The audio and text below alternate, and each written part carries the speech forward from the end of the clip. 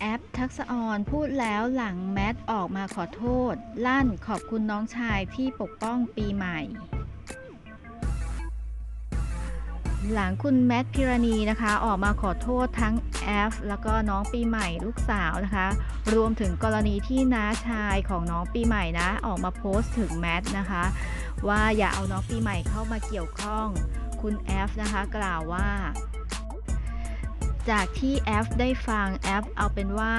ขออนุญาตไม่ตอบตรงนี้ได้ไหมคะ คือแอฟขอพูดเฉพาะเรื่องของแอฟอันนี้คือความตั้งใจที่ไม่อยากกระทบกันไปมา เป็นเกมส่งกันไปมา สุดท้ายบอลนั้นก็มาตกที่แอฟเป็นคนสุดท้ายเสมอ ถ้าตอบอะไรไปก็ต้องกระทบท่านใดท่านหนึ่งอีก ส่วนเรื่องที่น้าชายของน้องปีใหม่ออกมาโพสต์แอฟบอกว่าเป็นน้องชายแอฟค่ะ น้าของน้องปีใหม่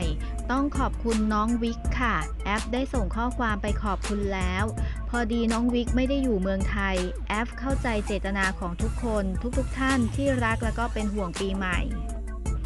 แอฟก็เป็นหนึ่งในนั้นค่ะ ที่อยากให้น้องเติบโตมาอย่างปกติเหมือนเด็กคนอื่นๆแอฟพยายามประคองทุกวิถีทางไม่ให้กระทบโปรเทคเขาทุกๆด้าน เขาไม่ได้แจ้งก่อนที่จะโพสต์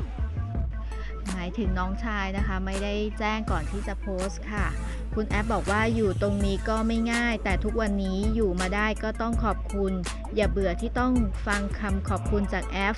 ถ้าไม่ได้พี่ๆนักข่าวตรงนี้ที่เป็นเพื่อนแอฟตลอด ก็พยายามอยู่ด้วยความเข้าใจ มีคนที่พร้อมเข้าใจเราก็ต้องขอบคุณมากๆค่ะ นักข่าวเลยถามว่าอยากขอบคุณแฟนๆยังไงบ้าง เธอบอกว่าขอบคุณมากๆ จริงๆ ก็เชื่อมั่นในความคิดแล้วก็ความตั้งใจดีของแอฟที่เชื่อมั่นในตัวแอฟขอบคุณทุกกำลังใจ ทุกวันนี้เวลาไปทำงานที่ไหนก็มีแต่คนให้กำลังใจ อันนี้ขอบคุณจริง ๆ ค่ะ นักข่าวถามว่าอยากเดินหน้าต่อ คุณแอปบอกว่าเดินมาตลอดค่ะ ไม่เคยหยุดไม่อยากจมอยู่กับใครที่สำคัญที่สุดเรามีลูกไม่อยากอยู่กับที่นักข่าวถามอีกนะคะว่าเหนื่อยไหมกับกระแสดราม่า เธอตอบว่าก็เหนื่อยค่ะ แต่พยายามมองด้วยความเข้าใจ คิดว่าจริง ๆ มันก็เกิดได้กับทุกคน แต่เผอิญแอฟอยู่ในสายตาของประชาชน ค่ะ เธอก็ยังคงตอบสไตล์เธอนะคะ ก็ไม่พูดพาดพิงถึงใครค่ะ แล้วก็มีมารยาทมีสติค่ะ